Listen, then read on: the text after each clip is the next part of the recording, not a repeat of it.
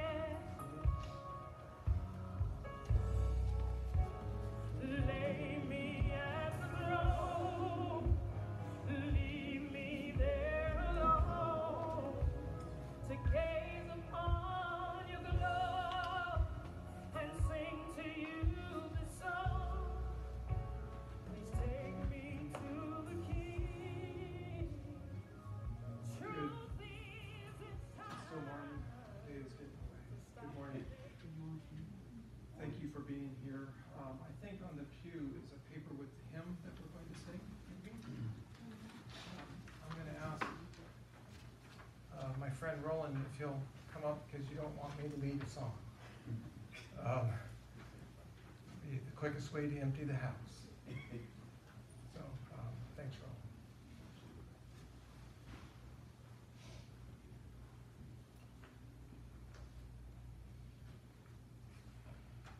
Not sure if we have any accompaniment this morning. Do we? Blessed assurance, Jesus is mine. If you know the song, I just want you to sing along this morning.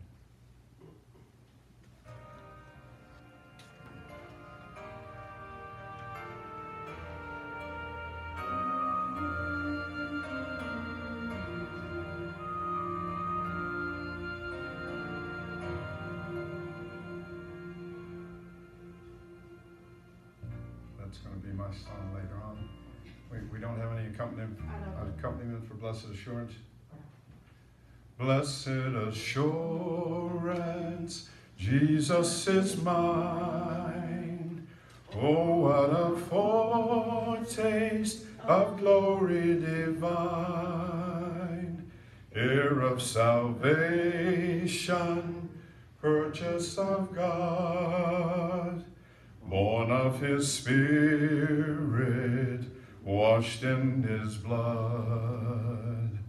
This is my story, this is my song, praising my Savior all the day long.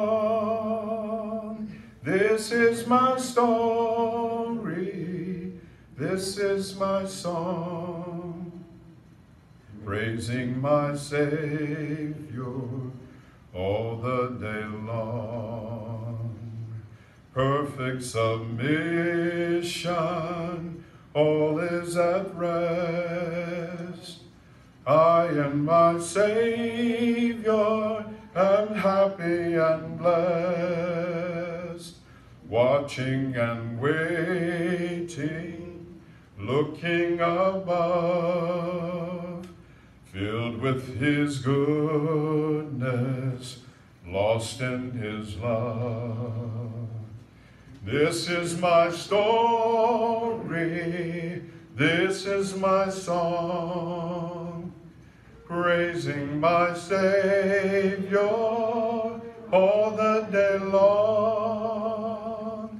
This is my story, this is my song, praising my Savior all the day long. Amen.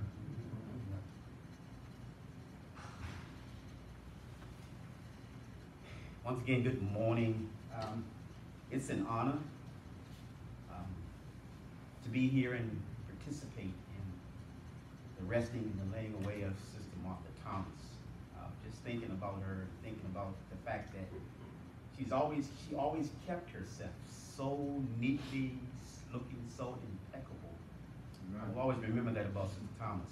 No hair was out of place, and quite a head of hair she had. You know, at this time, we're going to have our, our opening prayer. Let us pray. Our loving Father, once again, it's it's an awesome thing to be here, Lord, to honor Sister Thomas and the family, to pay our respects, Lord, for such a beautiful woman and a beautiful life. Father, I count it a privilege, an awesome privilege, Lord, to just be a part of this time of comforting, acknowledgement. So, Father, we just pray, Lord, indeed, that your angels that excel in strength would indeed comfort the family, the friends. That, Lord, you may come near into us, Lord, at those times when we feel the loneliest. And, Father, lift us up. Lord, we pray, Lord, that this day would be one that we will never forget. We know we won't. As, Lord, we lay to rest, Lord, one of your own, your daughter, our friend, mother to some, grandmother to others, aunt, and so forth and so on. Sister Thomas was and is a beautiful lady. We thank you, Lord, for the time that we've spent with her. And we ask your blessings to be upon us this day. In the name of Jesus, this is our prayer. Amen.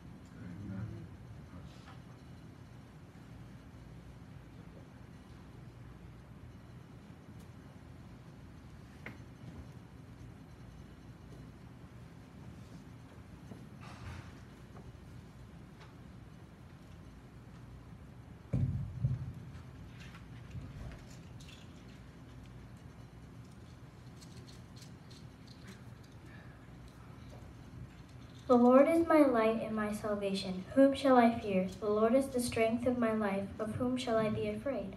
When the wicked, even mine enemies and my foes, came upon me to eat up my flesh, they stumbled and fell. Though an host, a host should again, encamp against me, my heart shall not fear. Though war should rise against me, in this I will be confident. One thing I have desired of the Lord uh, that I will seek after that I may dwell in the house of the Lord all the days of my life, to behold the beauty of the Lord and to inquire in his temple. This is Psalms 21, um, 1 through 4.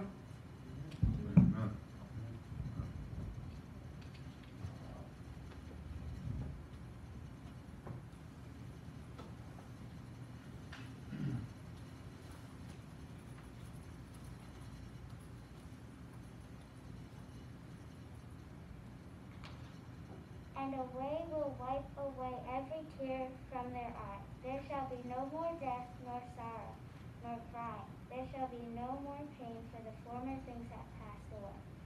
Then he who sat on the throne said, Behold, I make all things new. And he said to me, Write, for these words are true and faithful. This is Revelation 21, 4 through 5. On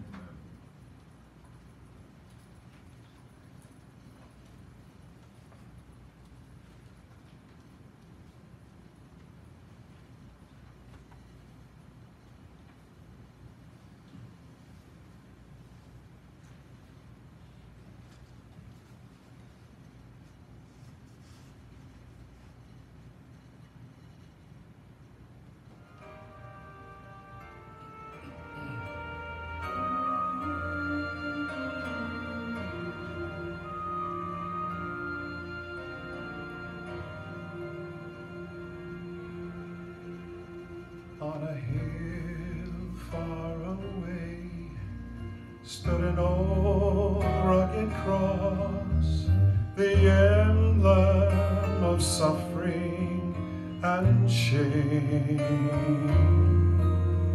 And I love that old cross where the dearest and best for a world of lost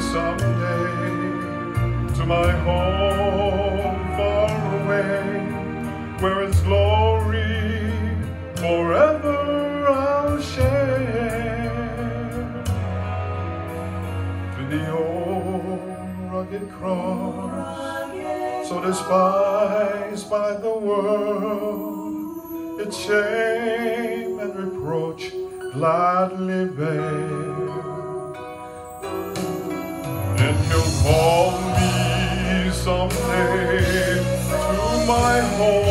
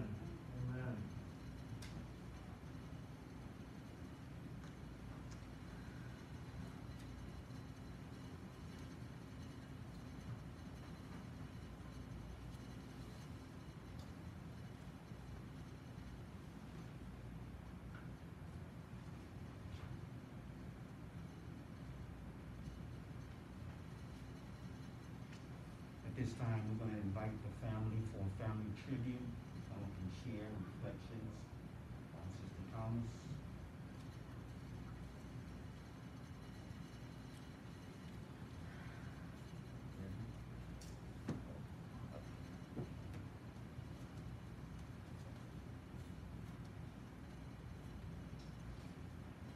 Thank you for coming.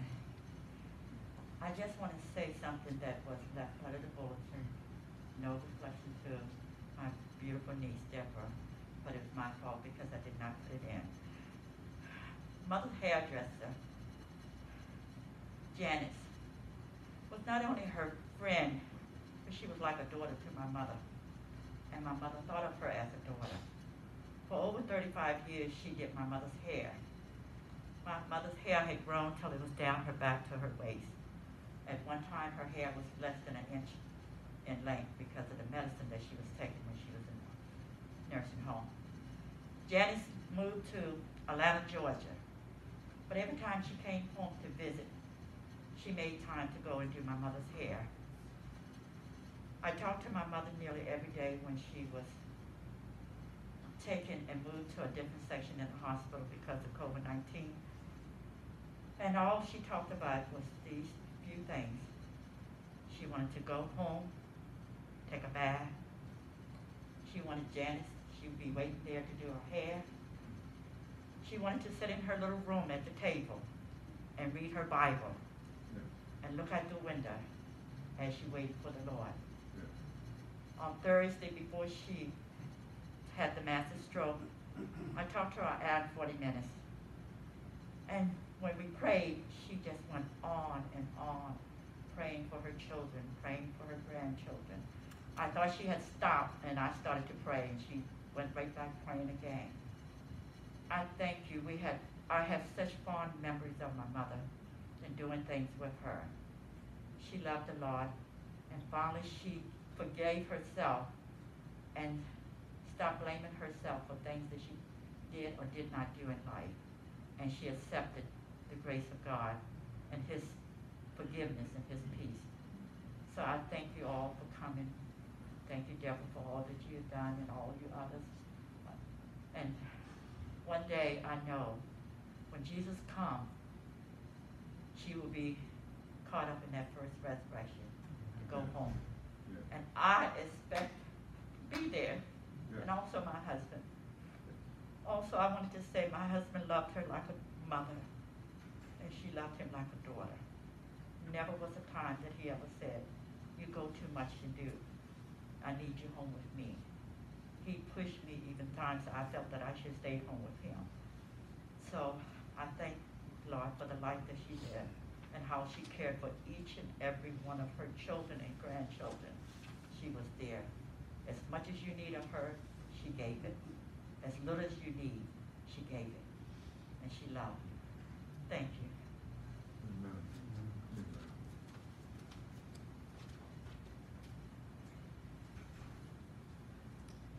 to just take a few more minutes to give the family as much time as they may need uh, to come up and say some things if they so choose.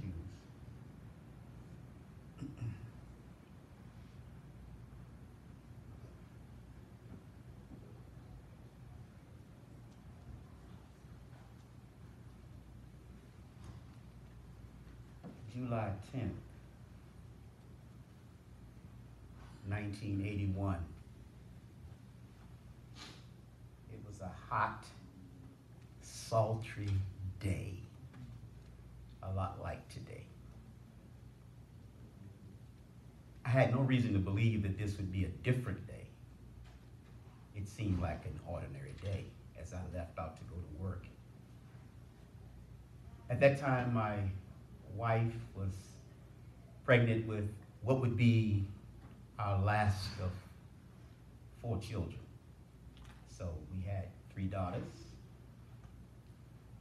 hoping and praying for a son, but there was no guarantees, as you can imagine. And of course, we didn't do the, what do you call it, the son, songwriter? So we had no idea. So I left out to go to work that morning. Uh, we we're working in Northern Virginia. But I had this feeling that, Lou, that, that this would be the day. Had that feeling. But I guess when you get in that late in your, in your pregnancy, you always have that feeling.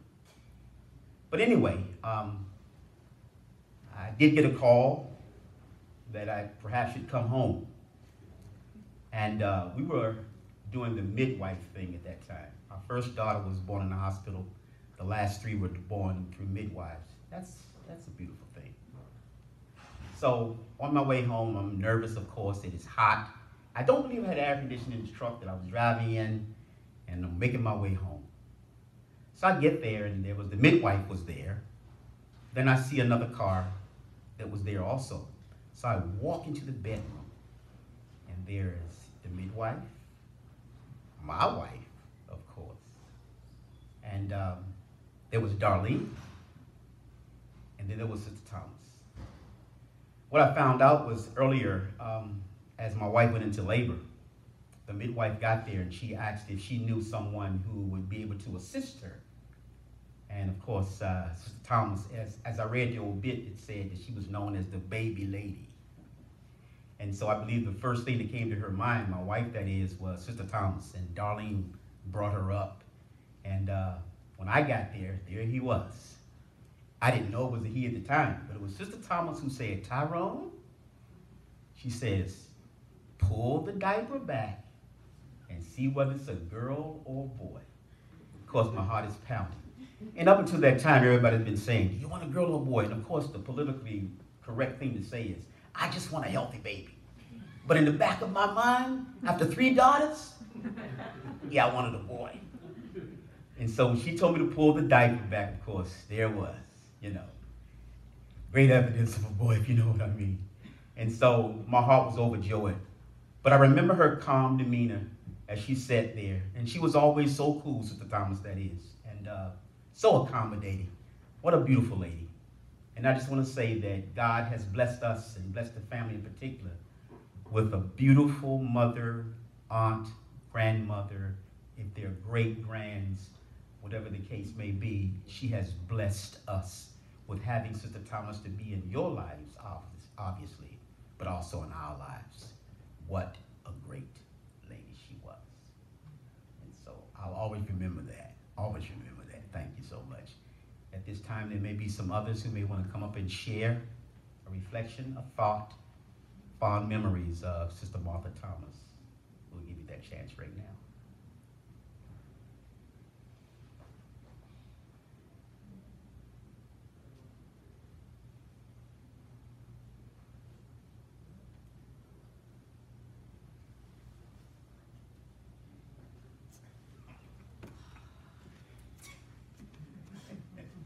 It made you do it? No, it didn't make me do it. Pastor, I was, um, good morning, everyone. I was coming up to tell another story about the baby story. Oh.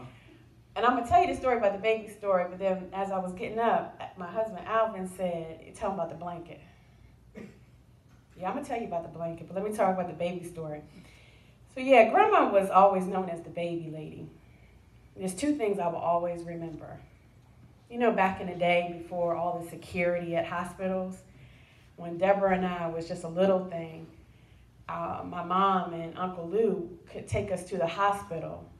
And you could just walk in on the first floor, right, Deborah? And see grandma in there with the babies. Because it was, you know, we didn't have to worry about security back then. I remember the time where we went and they had those security doors and we could no longer go back there.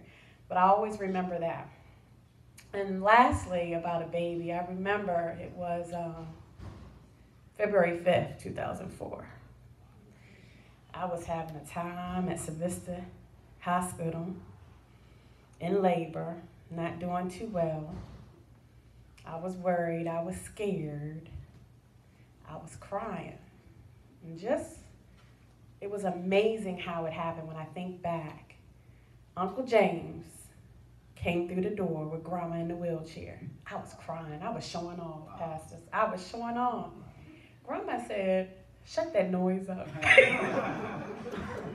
you remember that, Uncle James? She said, Shut that noise up. And my doctor, Dr. Espinoza, was standing there, and Uncle James and Grandma told uh, Aunt Dr. Espinoza who she was and her history. And Dr. Espinoza said, Well, I think you could deliver this baby. And Grandma said, Yes, I can. Oh. She did not. Moving on to the blanket. So I have a blanket that Aunt Marie gave me, a quilt that Mama made, and I cherish that blanket. And when we got married, Alvin thought he could use my blanket. And everybody who knows me, that, you know, that doesn't, wouldn't work out too well, right? So one day he was, Alvin had to tell on me and told grandma that I was being mean, that I wouldn't share the blanket. So grandma had the audacity, you know how she was about her menfolk, right? Right? Grandma had the audacity to tell me that I had to share the blanket with him, the quilt. Let's just say he doesn't know where that quilt is today. So. Thank you.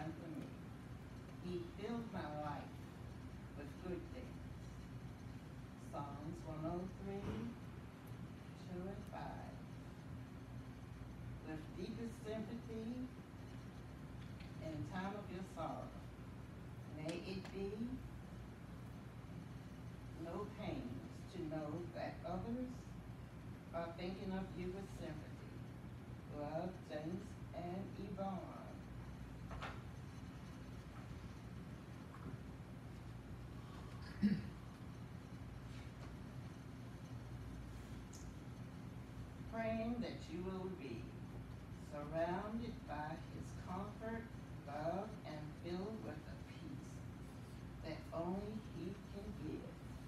The deepest sympathy with love, Seabrook pastor and staff and church family.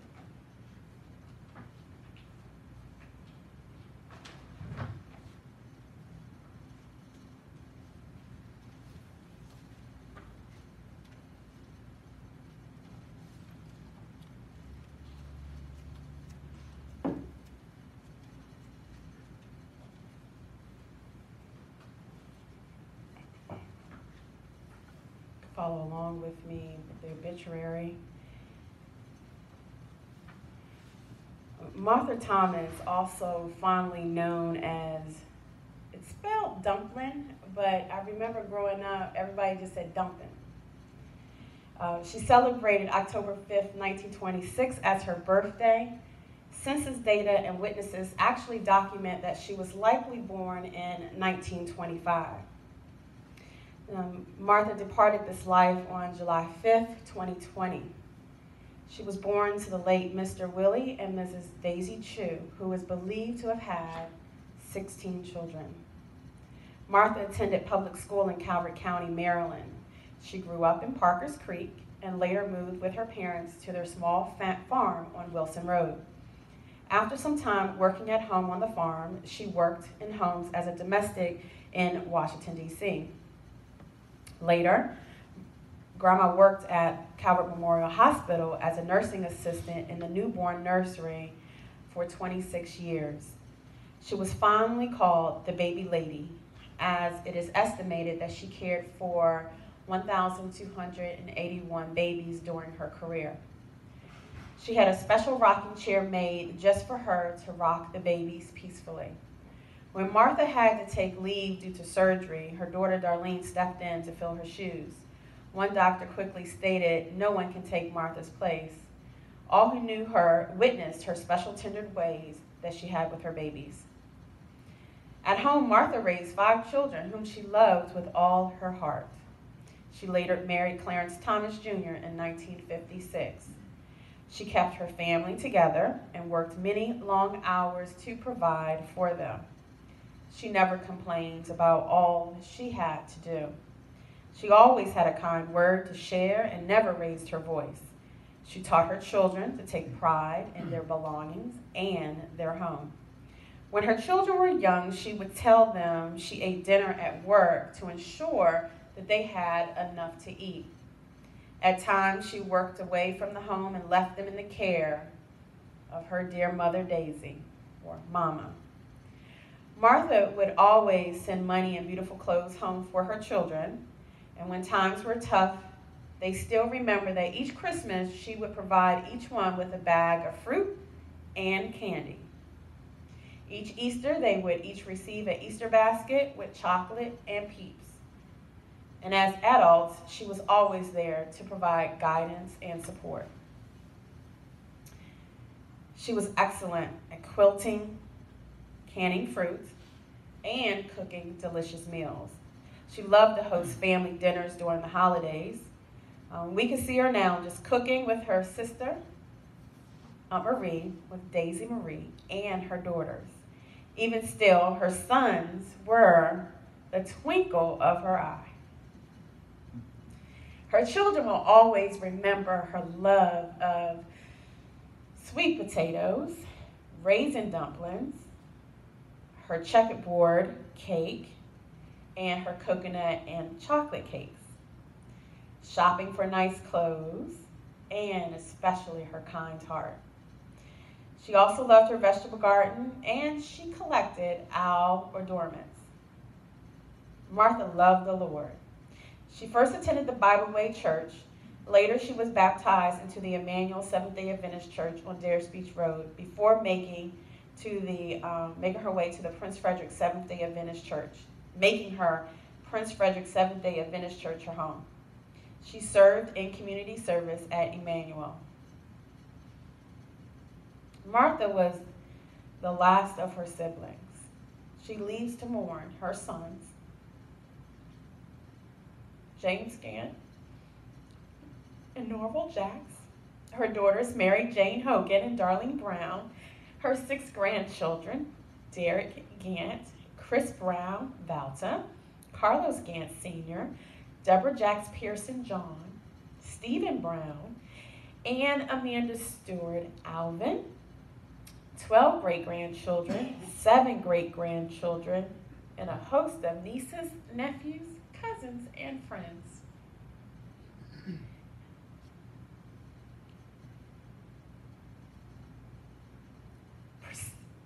Preceded in death.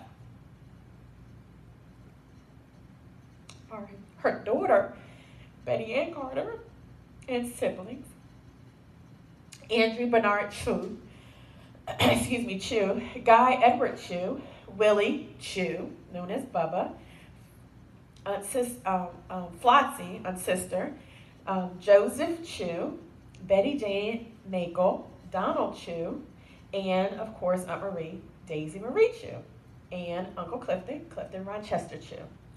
Thank you.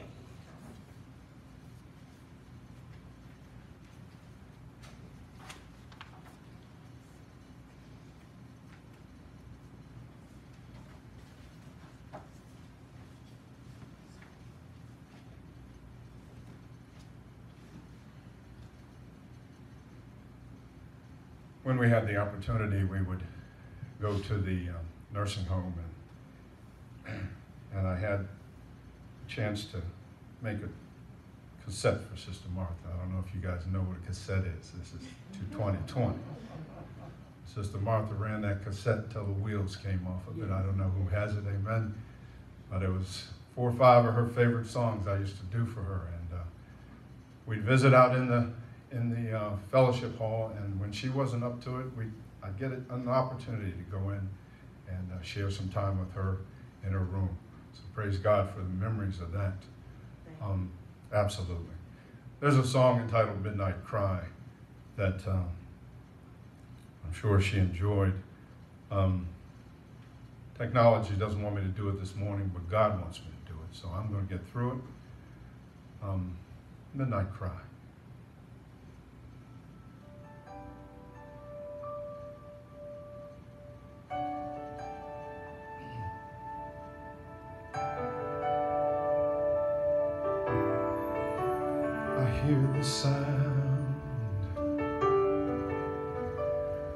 Mighty rushing wind. Oh, and it's closer now than it's ever been. Oh, yes, it is. I can almost hear the trumpet. Sounds the call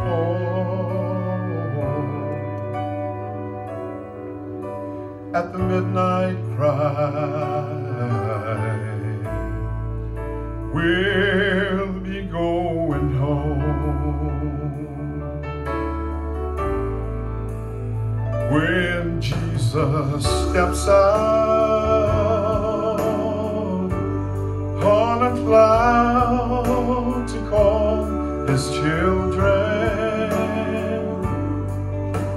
The dead in Christ shall rise, oh, they shall rise to meet him in the air.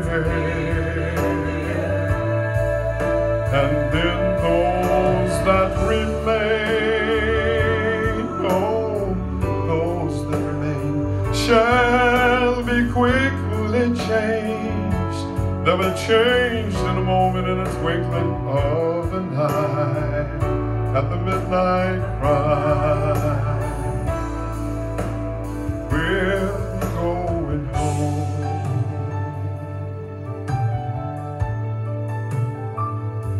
Listen to me now. I look around me. I see prophecy fulfilling every day. There are signs.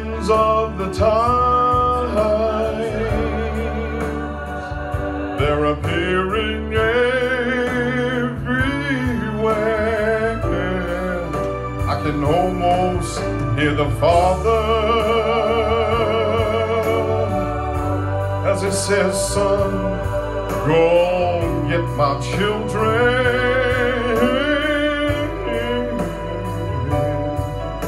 At the midnight cry. At the midnight cry when Jesus stands out on a cloud to call his children. The dead in Christ shall rise.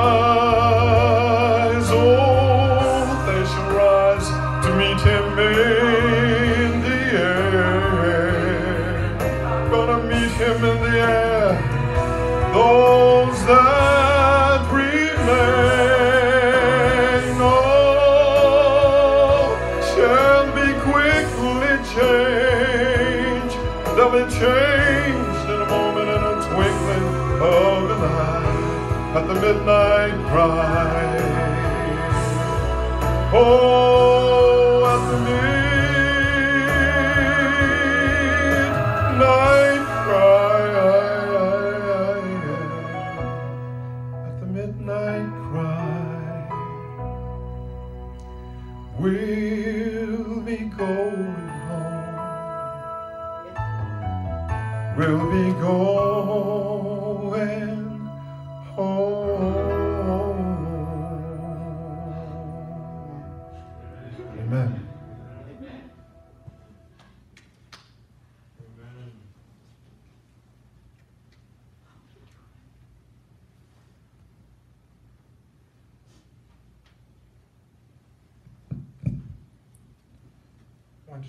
few words with you this morning from the Word of God.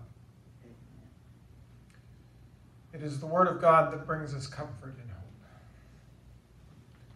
There are many things that would tear our minds and our hearts away from the Word of God. There's lots of self help books, there's lots of philosophical writings. But it's the Word of God that points us to the realities that we hold dear. So I want to share just a couple stories with you from the Word of God this morning. Stories that you've already heard, you know them well. I will start the story and you'll get to the end of it before I do, but don't get there too fast today, okay? The storm clouds are gathering.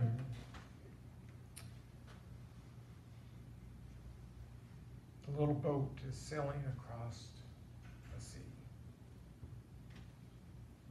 It started out as a pleasant evening sail. It was, it was a nice night. Our Lord and Savior laid down in the back of the boat and fell asleep. Somewhere out in the middle of that sea of Galilee, the winds began to howl and the waves began to roar. And those guys in that boat, some of them, many of them, were fishermen. They knew how to handle. They knew what to do.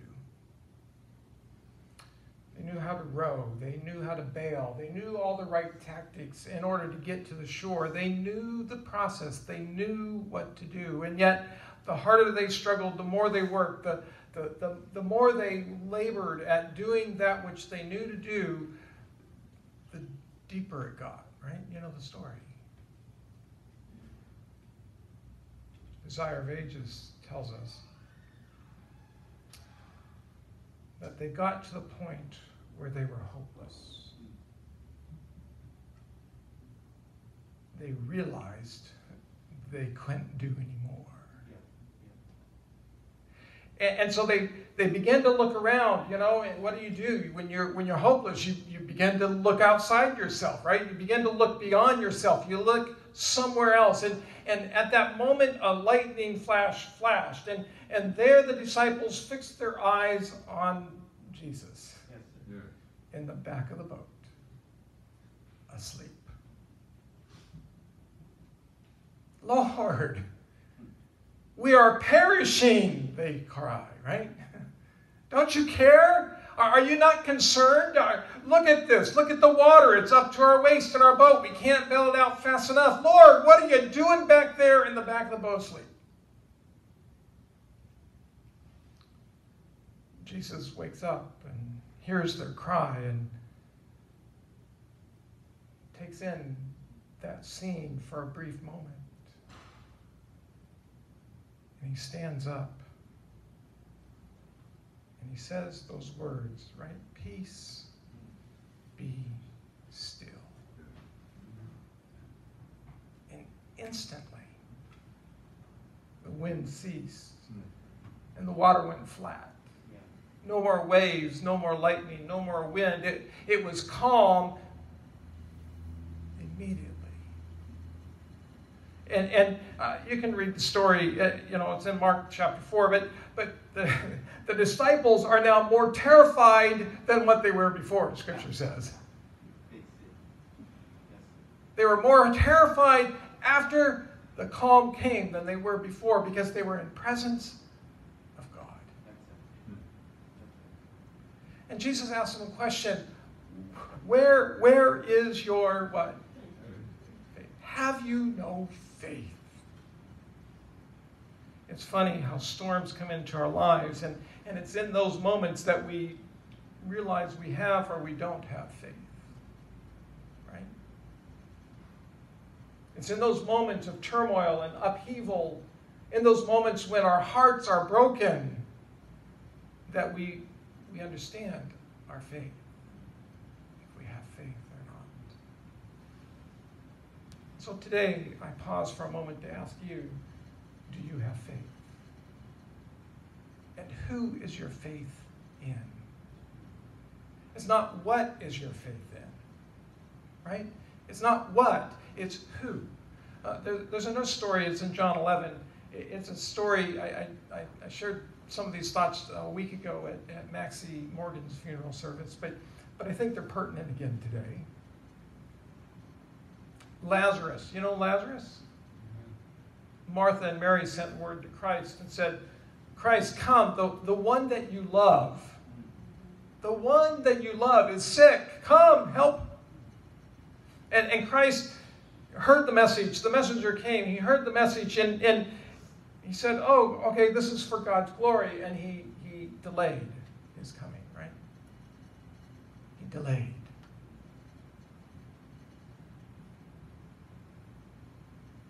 A couple days went by. Jesus said to his disciples, You know, Lazarus, he sleeps, but I'm going to go wake him up. The disciples got, Oh, good, Lazarus is better, right? And then Christ said, No, no, sorry, guys. Lazarus has died. We're going to a funeral. And here we are. Martha has died. Your mom, your grandma, your great grandma. Martha has died. And Jesus has delayed his coming.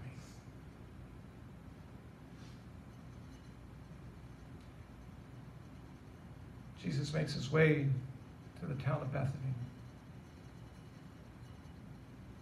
And there, word gets to Martha, so Martha runs out and, and meets him, not there at the house, but meets him out somewhere on the outskirts of the village. And, and she says to him,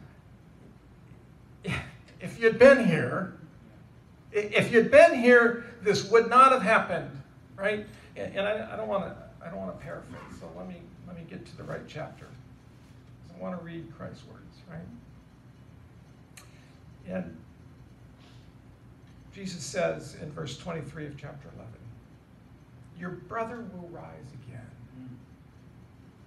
And, and Martha says, I know that he will rise again in the resurrection at the last day. And then Jesus says, I am the resurrection and the life. He who believes in what? Mm. He who believes in me. Not he who believes in the resurrection. Not he who believes in the Sabbath. Not he who believes in whatever, whatever philosophy you want to talk about. It's not about a philosophy, it's about a person, Jesus Christ. He who believes in me. He who believes in me, though he may die, he shall live. Do you believe in Jesus today?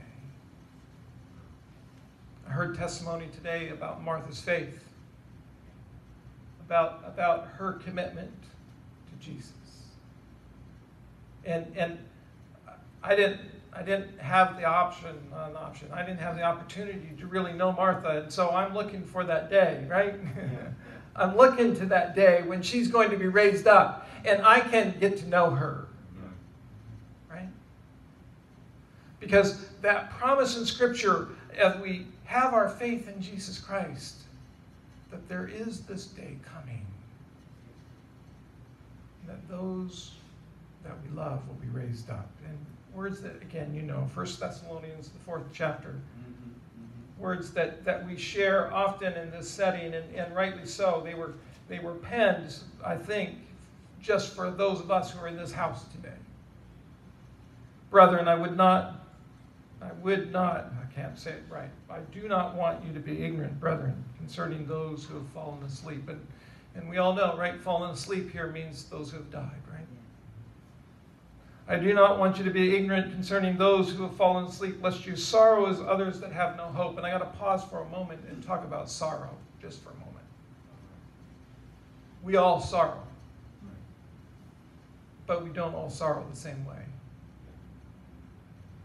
Some of us hold it tight to our chest, and that's okay. And some of us, the tears will flow quietly and softly, and that's okay too. And in others, it might be more demonstrative, and it, there might be actually some sound that comes with those tears, and, and that is okay too. Because we all sorrow, we, we suffer a loss. It, it, it's part of our life that is no longer with us, and, and, and until Jesus comes, it's, it's, it's on hold. So, sorrow, it's okay to sorrow. It's okay to hurt. Jesus at the tomb of Lazarus wept, right? Jesus wept. He understands the hurt. He understands the separation. In, in fact, I would that God understands the separation that you're going through right now more than we are going through right now. Because God has how many children? The world. And every time a child of his dies, there's a pause, a separation until the resurrection. Brethren, would not have you be ignorant concerning those who have fallen asleep, lest you sorrow as others that have no hope. For here's the hope, for we believe that Jesus died and rose again. Even so, God will bring with him those who sleep in Jesus. For by this, uh, by I can't read today. For this we say to you by the word of the Lord, that you who are alive and remain until the coming of the Lord will by no means precede those who are asleep. For the Lord himself will descend from heaven with a shout and with the voice of the archangel and with the trumpet of God, and the dead in Christ will rise first.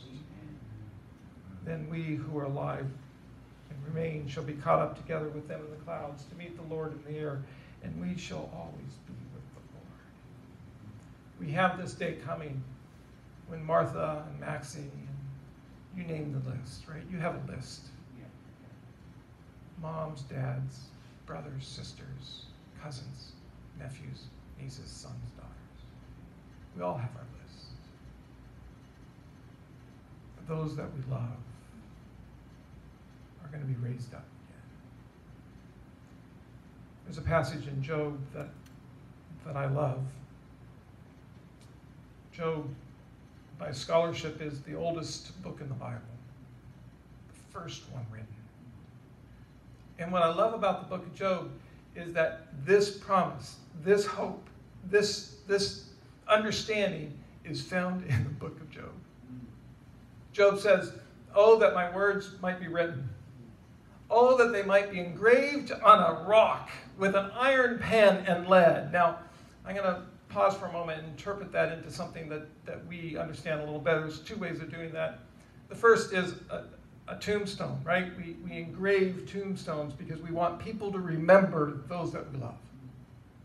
The other way that, that I like to remember this or, or interpret this is um, some of us, when we were young in high school, back in my day anyway, um, it was the thing when you were going to graduate to find the tallest structure around. Usually it was a water tower, right? Remember that? And you would do what? You'd climb the water tower in the middle of the night and you'd spray paint up class of because you wanted everybody to know, right? This is Job. This is what Job's saying. I want everybody to hear, I want everybody to understand these words. And his words are these that though the worms will destroy my skin, that with mine own eyes I shall see my Redeemer. Job had this hope. He had this hope that even though death is a part of the reality in which we live, that there is something more coming. A day when our Redeemer will burst through the clouds. And he will call with the voice of the archangel, and with the trumpet of God, and the dead in Christ shall be raised. We have a hymn in the Adventist Church. And, and again, I'm not going to sing it for you. Roland can sing it, probably Pastor Tyrone can sing it. You don't want me to sing it. But these are the words. Yes, sir. We have this hope that burns within our hearts. Hope in the coming of the Lord. We have this faith that Christ Yeah. alone imparts, faith in the promise of his word. We believe the time is here when the nations far and near shall awake and shout and sing, Hallelujah, Christ is King. We have this hope that burns within our hearts. Hope in the coming of our Lord. Hallelujah. Let's pray together. Father, you are so gracious. Your word says, whenever I'm afraid, I can trust in you. Your word says, peace I leave with you. My peace I give to you, not as the world gives, do I give. Let not your hearts be troubled, neither let them be afraid. Your word says, My grace is sufficient for you. My strength is made perfect in weakness. Your word says, Fear not, for I am with you. Be not dismayed, for I am your God. I will strengthen you. Yes, I will uphold you with my righteous right hand. And finally, Lord, your word says, Be of good courage and he, that is Jesus, will strengthen your heart. All you who hope in the Lord. Yes, sir. Amen. Amen.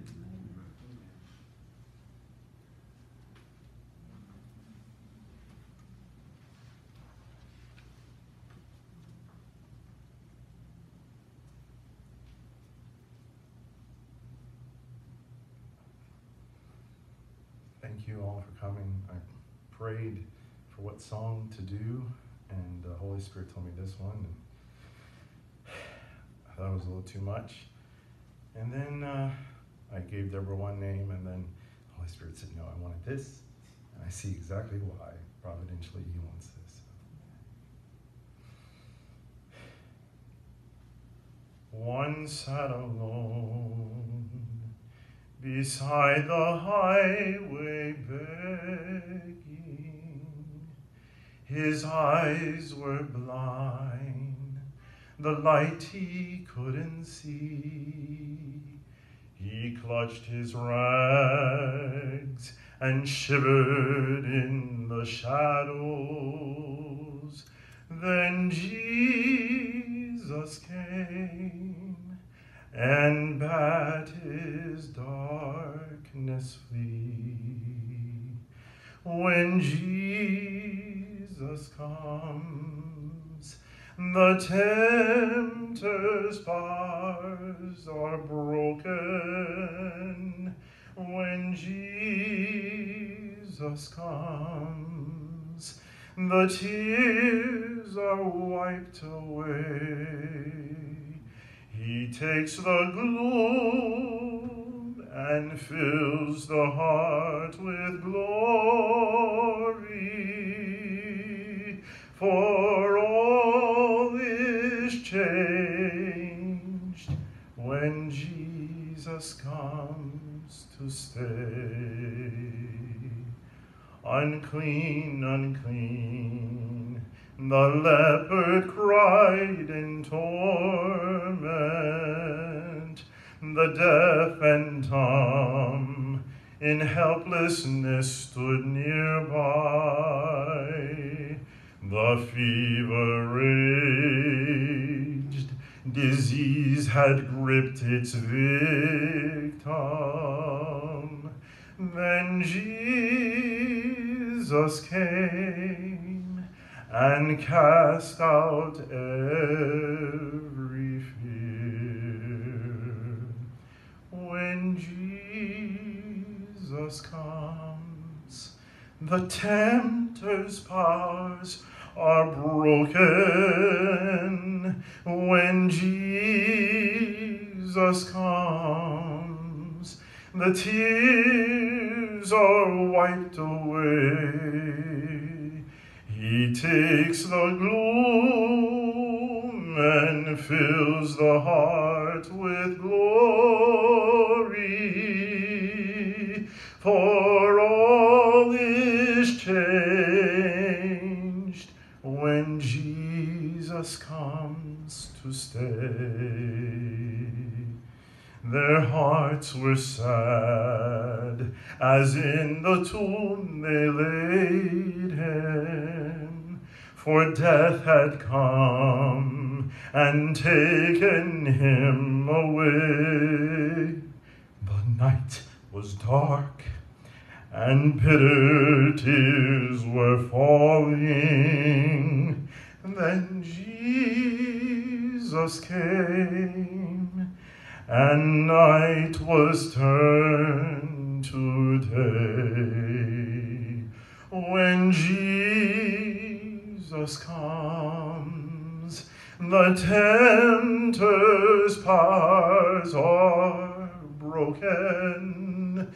When Jesus comes, the tears are wiped away.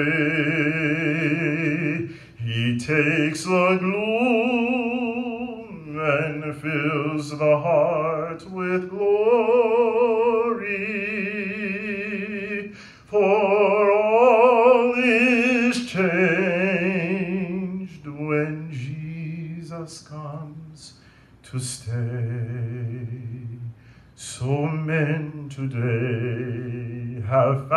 The Savior able. They could not conquer passion, lust, and sin. Their broken hearts had left them sad and lonely. Then Jesus came and dwelt himself within. When Jesus comes, the tempter's powers are all broken. When Jesus comes, the tears are all wiped away. He takes the gloom and fills the heart with glory. For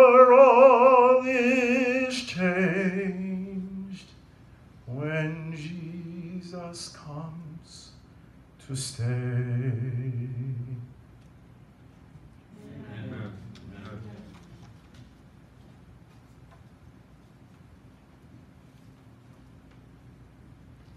Songs of hope, words of hope, prayers of hope. I want to thank Pastor Bogus for bringing us the eulogy of hope. The resurrection is what keeps us together. It, it allows us to go through moments like this. What do you say, brothers and sisters? The hope of being together with Christ and being together with the loved ones. And so we're going to leave this place with hope. Amen? Amen. And we're going to walk in hope. We're going to live in hope. We're going to remember Martha in hope of that blessed resurrection. But until then, we'll keep on treading. We'll keep on going through until that blessed day. Let us pray. A loving and merciful God, once again, we are grateful for, Lord, your presence in this place. Father, we thank you, Lord, for what we have witnessed today.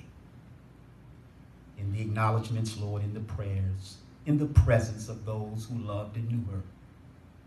And Father, we just ask your blessing to be upon us, Lord. Be upon the family. Give them comfort in those times when they stand in need of it. Give them, Lord, and remind them of the blessed hope that Tom talked about today. That it gets us all through. Because, Lord, truth be told, we all will come to this place if time lasts. But, Father, we get through it and we get by it as much as we hurt, as much as, Lord, we, we grieve, Lord. It's the blessed hope that keeps us alive. And so, Father, until we see you face to face, until we see Martha face to face, Lord, keep us in your care. Build us up until we see you again. Having said that, Lord, we pray all of these things in the blessed hope, in the blessed name of our Lord, our Savior, and our soon coming King, Christ the righteous. We pray.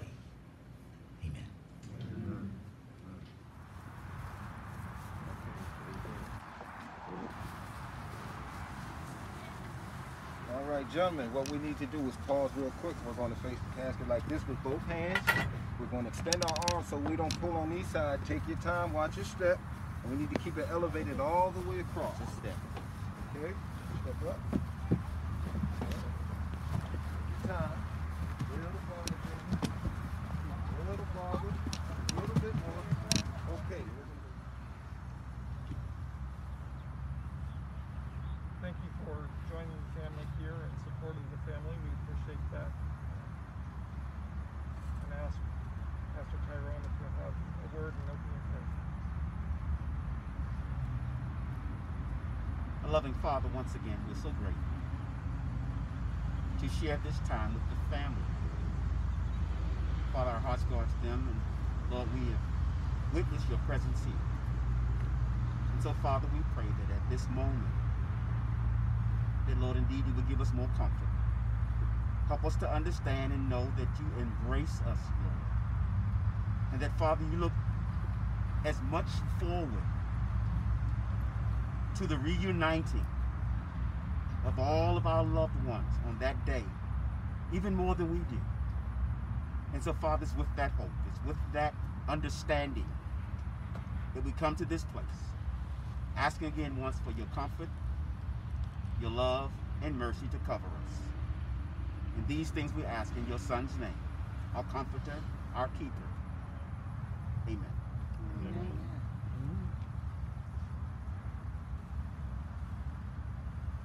I want to share just a couple words of scripture with you again. Words of Christ from the book of Revelation.